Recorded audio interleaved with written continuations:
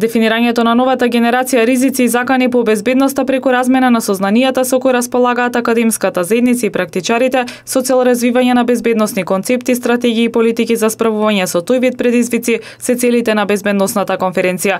Продеканот на факултетот за безбедност Никола Дујовски истакна дека настаните кои се случуваат во Европа во изминатиот период, особено последните настани во Велика Британија се сериозна закана по безбедноста во Европа, но во овој момент во Македонија и во поширокиот регион не постои сериозна закана закана од таков вид. Лицата, терористите кои што ги извршуваат овие напади, се веќе добро етаблирани во Европа, имаат можеби одредени бази и на Балканот, меѓутоа денеска и во блиска еднина не постои некоја посериозна закана дека во овој регион ќе се случат такви настани. Зошто? Затоа што регионот сам по себе е мал. Границите си го прават своето, контролата е поинаква.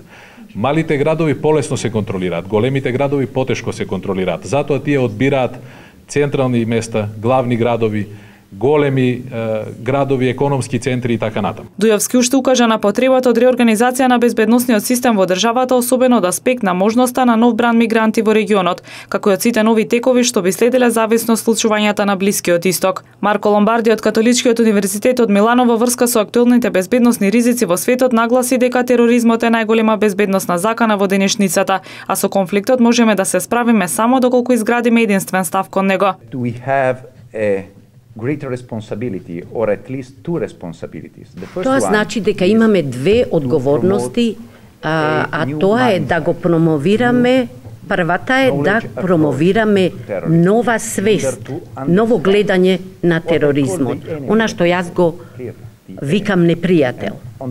Второ, да развиеме алатки, инструменти со кои ќе ги сопреме, ќе ги спречиме нападите.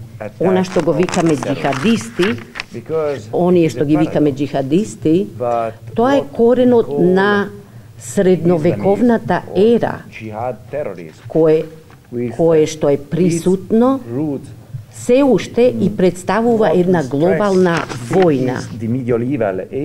За сада Нинан Рума, експерт по политичка економија и безбедност од Универзитетот од Истанбул, три главни безбедносни ризици го засегаат регионот, но истите важат во светски рамки.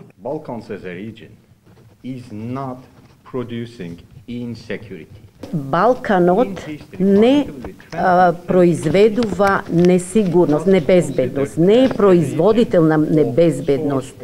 во 20 век изворите кажуваат дека тоа било така, но ова не е фер констатација.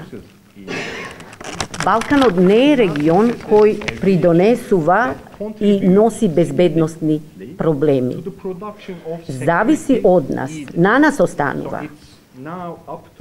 Да кажеме дека ние не представуваме проблем, туку треба да размислиме да придонесеме за побезбедна средина од аспект на социјалниот аспект, економскиот аспект, еколошкиот аспект за цела Европа земено во глобала.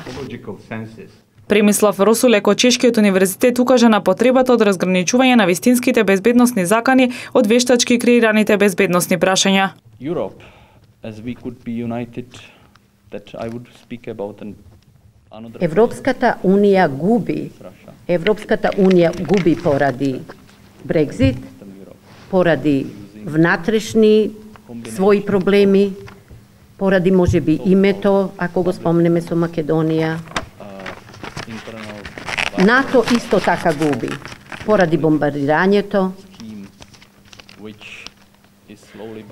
Јас како опасност ја гледам и Русија. Рус, Русија на Путин. Централна Европа е во опасност од Русија, бидејќи има тенденција на повик на славјанско обединување, славјанско братство.